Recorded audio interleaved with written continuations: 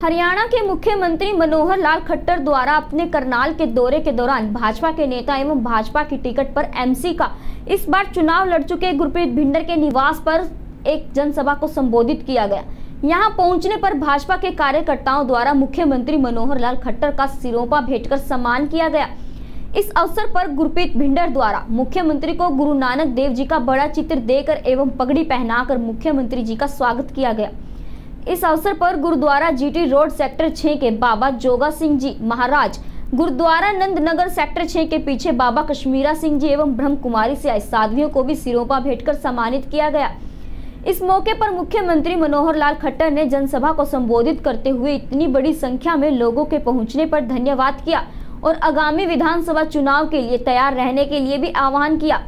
उन्होंने कहा कि वातावरण भाजपा के पक्ष में है, परंतु कार्यकर्ताओं को मेहनत करनी पड़ेगी।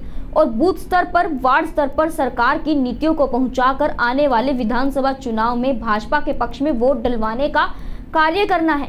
उन्होंने कार्यकर्ताओं से कहा कि वह करनाल से विधायक है, परंतु पूरा प्रदेश देखने के लिए उनको यहाँ पर कम समय देना पड़ा।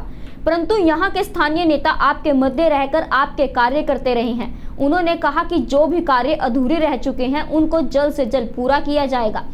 इस मौके पर मुख्यमंत्री के ओएसडी अमरिंदर सिंह, जिला अध्यक्ष जगमोहन आनंद, करनाल की मेयर रेणुबाला गुप्ता, भाजपा नेता अशोक सुखीजा भाजपा नेत्री सीमा सुनील गोयल सहित बड़ी संख्या में भाजपा के कार्यकर्ता मौजूद रहे।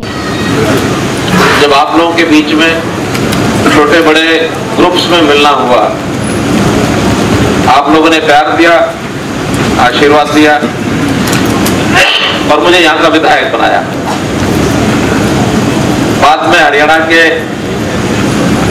भारतीय जनता पार्टी को जो बहुमत मिला तो सब विधायकों ने और पार्टी का जो नेतृत्व है, उन्होंने मिलकर के हमको हरियाणा के मुख्यमंत्री का दायित्व दे दिया।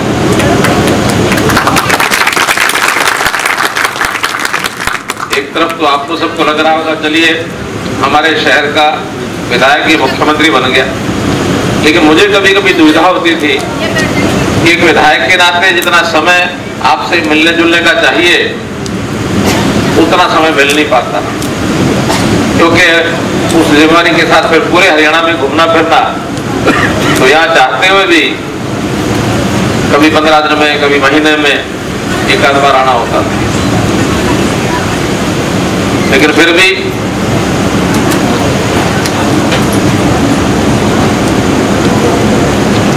पार्टी के हमारे कार्यकर्ता, पार्षद, नेता, मेयर, जो अपेक्षा मैंने इनसे की थी कि करनाल की, जनता की जो भी कोई तकलीफें हैं, जो कोई डिमांड है, विकास की बात है, मोहल्ले की, कॉलोनी की, सेक्टर की छोटे बड़े सब काम, जो जानकारी मिले सब वहाँ नगर निगम के हैं तो वहाँ कराइए। और अगर प्रदेश सरकार के तो हमारे पास भेजिए, हम सारे काम कराएँगे। और मैं इस बात की संतुष्टि है मुझे कि करनाल की जनता ने जो कुछ बताया, वो प्राय प्राय सब काम हुए। अब ये भी हो सकता है कोई रह गया जैसे कहते ना बीस काम बताया उन्नीस हो गए, एक भी रह गया। तो जिसने आलोचना करनी है, जो विरोधी है, वो किसकी बात करेगा? वो एक की करेगा, उन्नीस की नहीं करेगा। और जो पॉजिटिव आदमी है वो कहेगा देखो उन्नीस तो हो गए। तो मैं समझता हूँ, यहाँ जो प्रबुद्ध नागरिक बैठे हैं, ये सारे भारतीय जनता पार्टी के विचार के समर्थक ज़रूर एक बात का भी ध्यान रखेंगे जो नहीं हुआ, लेकिन 19 का भी ज़रूर ध्यान रखेंगे जो हो गए ताकि विरोधियों को कल को ज़रूरत पड़े वो एक बताएँ तो हम एक और 19 बीस के बीच बताएँ। एक रह गया तो हो जाएगा। कोई दस दिन में होने वाला होगा, दस दिन में होगा, महीने में होने वाला होगा, महीने में होगा। लंबा समय होना लगना होगा तो अगली टर्म में होगा। आखिर ये भरोसा तो है ना अपने को कि अगली टर्म में हम काम करने के लायक फिर से बनेंगे? है कि नहीं भरोसा? इसलिए काम सब होंगे। अब दो ढाई महीने के बाद फिर से चुनाव का अवसर आएगा। अक्टूबर 15 के आसपास पोलिंग होगी। एक तो तरीका यह है कि जैसे पिछले चुनाव में लगातार मैंने यहाँ समय लगाया, छोटी बड़ी सभाओं में लोगों के साथ मिलना जुलना हुआ, महीना भर यहाँ लग गया।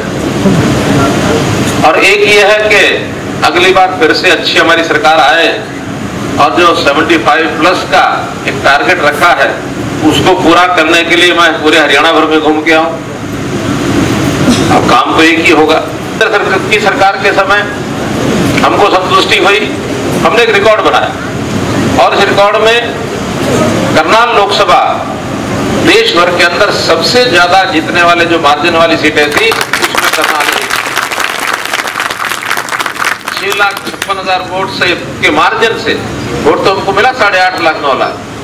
लेकिन जो मार्जिन है, यानी हमारे और कांग्रेस के बीच में जो अंतर, वो छह लाख छप्पन हज़ार का रहा मुझे भी यकीन नहीं था कि इतना बड़ा मार्जिन आपने जो प्रताप करके दिखाया है, उसी प्रकार का प्रताप करनाल विधानसभा का जब चुनाव हो, उस समय भी करके हमको दिखाना है। और इसके लिए जन जागरण भी करना है, लगातार काम करना है। कई बार अति उत्साह या अति विश्वास जो हो जाता है और कॉन्फिडेंस इसको कहते हैं जलाई आने का खतरा होता है। कि ठीक है जी हम जीत तो जाएँगे ही। लेकिन ये अगर मन में आ गया तो हमने एक तो कहानी सुनी है ना एक संत जी ने कहा कि भी गाँव का हर परिवार एक लोटा दूध का लेके आएगा और इस कुंड में डालेगा दूध की ज़रूरत पड़ेगी लंगर लगाना होगा जो भी कुछ करना होगा। तो सब लोगों ने सोचा कि कुंड तो भरी जाना है। सब लोगों ने दूध लाना है।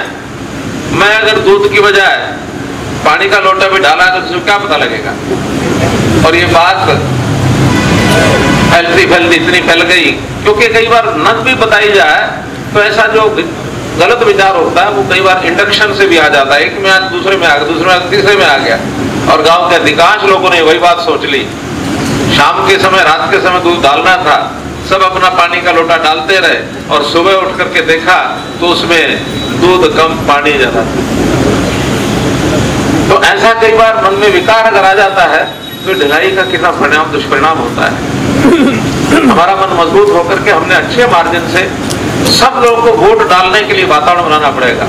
वातावरण अच्छा है लेकिन उसको सबको वोट मशीन तक ले जाकर मशीन में डलवाकर जब तक ये स्थिति नहीं लाएँगे, तब तक जैसा परिणाम चाहते वैसा आएगा नहीं।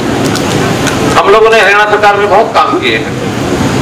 चाहे वो विकास के काम है, चाहे व्यवस्था परिवर्तन के काम है, लोगों की जीवन शैली उसको आसान बनाया है। वरना छोटे छोटे काम के लिए लोग भटकते रहते थे। ऐसे ही लेटेस्ट खबरें पाने के लिए सब्सक्राइब बटन पर क्लिक कर बेल आइकन को दबाएँ।